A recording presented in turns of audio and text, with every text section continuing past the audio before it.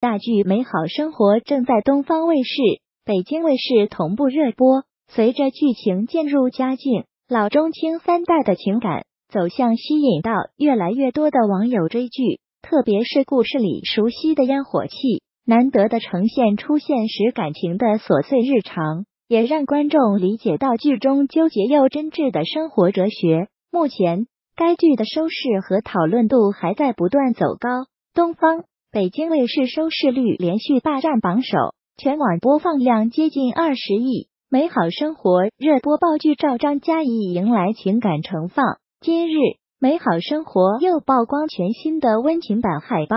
张嘉译和她生命中最重要的三位女性同框，一见倾心的现任李小冉，曾经相濡以沫的前妻牛莉，和永远包容自己的母亲宋丹丹。他们四人在各自温馨鲜亮的背景中，脸上带着微笑，被团团鲜花包围。传递出一种柔情脉脉的情感状态，正如海报上那句“遇见你，让我认识了更好的自己”。他们之间的情感脉络不仅是这部剧的最大看点，也成了这句话的最好注解。梁小慧，美好生活已经是李小冉与张嘉译的第四次合作。不同以往的是，两个人物的感情跨越了追求制造小浪漫的层面。将重点放在了心灵上的沟通。李小冉表示，张嘉译一直是我的偶像。这次我们在戏里也谈起了虐恋，但最终结结局怎样，还是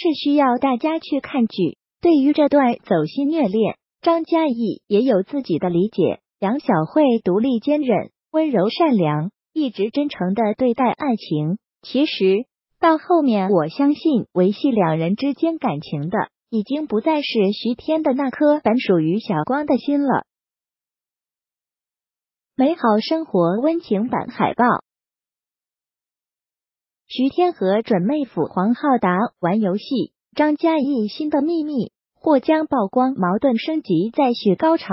随着剧情热播，剧中每个人对待感情的态度和面对问题时的选择，都已逐渐明晰。徐天和梁小慧之间的脆弱爱情正面临来自各方的阻挠，前妻小白的纠缠，梁父的误会，让两人继续在情感的十字路口徘徊。反观任性的贾小朵，她身上有不少现代年轻女性的影子，敢爱敢恨，勇于追求爱情，还有事业有为的编制君。在和梁小慧相处的过程中，他内心的痛苦和挣扎也渐渐显露。尽管该剧直观的刻画出了看似美好下的不美好，但真实呈现出了当代都市人不同的情感观、价值观。正是以这样一种积极向上的引导，呼唤观众对美好生活的追求和珍惜，有了张嘉译、李小冉、宋丹丹、牛莉、李乃文、辛柏青、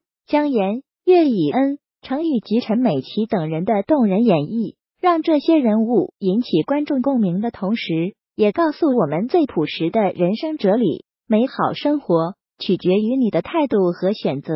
那在接下来的剧情中，关于张嘉译新的秘密也即将曝光。这个巨大矛盾出现在两人面前，他们会如何化解情感上的内忧外患？同时，周围人各自面临来自世俗的挣扎，又会否因为这个秘密？而改变自己的态度。播出过半的美好生活即将再续情感高潮，令人期待。每晚十九点三十分，美好生活正在东方卫视、北京卫视热播。该剧由天意影视、二零一路影视传媒出品，西安曲江文化产业风险投资联合出品。刘进导演，徐冰编剧及监制，吴毅任总制片人，吴丽、武钢担纲制片人。目前，美好生活的热度还在不断走高，有望成为。